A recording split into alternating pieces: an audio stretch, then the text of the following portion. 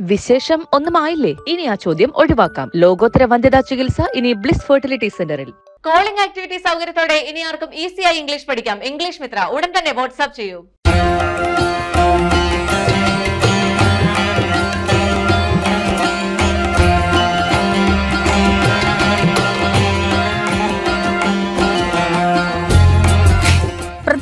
നരേന്ദ്രമോദിയുടെ മാതാവ് ഹീരാബെനിന് തൊണ്ണൂറ്റി ഒൻപതാം പിറന്നാൾ. ശനിയാഴ്ച രാവിലെ തന്നെ പ്രധാനമന്ത്രി ഗുജറാത്ത് ഗാന്ധിനഗറിലെ അമ്മയുടെ വസതിയിലെത്തി. പൂജാമുറിയിൽ വെച്ച് അമ്മയുടെ കാൽപാദങ്ങൾ കഴുകി. അനുഗ്രഹം വാങ്ങിയ ശേഷം മോദി ഹീരാബെനിന് മധുരവും നൽകി.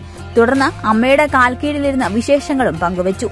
അമ്മ എന്നത് വെറുമൊരു വാക്കല്ല ഒരുപാട് വികാരങ്ങളുടെ കൂട്ടായ്മയാണെന്ന് മോദി ട്വിറ്ററിൽ കുറിച്ചു. ഇന്നെന്റെ അമ്മ ഹീരാബ തന്റെ നൂറാം വാർഷികത്തിലേക്ക് കടക്കുകയാണ്. ഇത് അവരുടെ ജന്മശതാബ്ദി വർഷമാണ്. അച്ഛൻ ജീവിച്ചിരുന്നെങ്കിൽ കഴിഞ്ഞയാഴ്ച അദ്ദേഹവും നൂറാം പിറന്നാൾ ആഘോഷിക്കുമായിരുന്നു. അമ്മയുടെ ശതാബ്ദി ആരംഭിക്കുന്നതിനാൽ രണ്ടായിരത്തി ഇരുപത്തിരണ്ട് തനിക്കൊരു പ്രത്യേക വർഷമാണ്. അച്ഛൻ ശതാബ്ദി പൂർത്തിയാക്കുമായിരുന്നുവെന്നും പ്രധാനമന്ത്രി തന്റെ കുറിപ്പിൽ പറഞ്ഞു.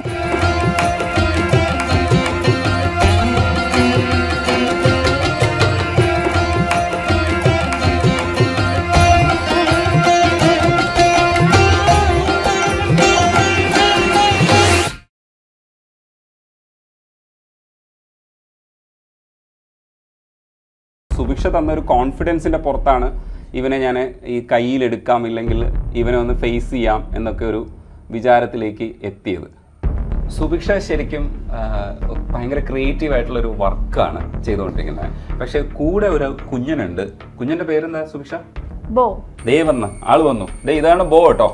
നിങ്ങൾക്ക് കാണാൻ പറ്റുന്നുണ്ടെന്ന് വിശ്വസിക്കുന്നുണ്ട്. ബോ ഇങ്ങനെ ഈ സുഭിക്ഷയുടെ പുറകിൽ ഇങ്ങനെ ചുറ്റി ഇങ്ങനെ വരിഞ്ഞു കിടക്കും ഇത് എക്സോട്ടിക് പെറ്റ് എന്ന് പറഞ്ഞ? വിഭാഗത്തിൽ വരുന്നതാണ്. അപ്പൊ പുറത്തുനിന്നുള്ള ജീവികളാണ്. ഇയാളിപ്പോ ആഫ്രിക്കൻ ബോൾ പൈത്തൻ എന്നാണ് ഇയാൾ പറയണേ. ഓ വന്നതാണ് വലിയ പുള്ളിയാ അപ്പോ അതുകൊണ്ട് തന്നെ ഇവർക്ക് വളർത്താനുള്ള ലൈസൻസും കാര്യങ്ങളൊക്കെ നമുക്ക് വേണം. ഇപ്പൊ ഇതിപ്പോ നമ്മൾ ഇവിടെ വല്ല ഇപ്പൊ കണ്ടാൽ തോന്നും നമ്മുടെ കാട്ടിൽ നിന്ന് ഇവിടെ നിന്നൊക്കെ ആ, പിടിച്ചുകൊണ്ടെന്ന് നിന്ന് വിചാരിക്കും. പക്ഷെ സംഭവം ആളിവിടെയുള്ള അല്ല.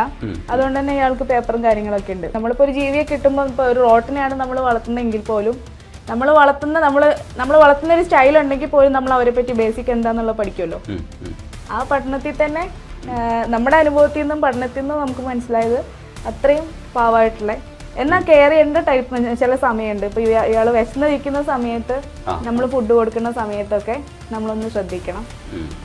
അവർ ആ സമയത്ത് അതായത് എരേനെ അറ്റാക്ക് ചെയ്യുന്ന ഒരു മനോഭാവത്തിലായിരിക്കും നിൽക്കുക അതിനിടയിൽ കൂടെ നമ്മുടെ കൈയൊക്കെ കൊണ്ട് ചെന്ന് കഴിഞ്ഞാൽ ചിലപ്പോൾ കളി കളി മാറും.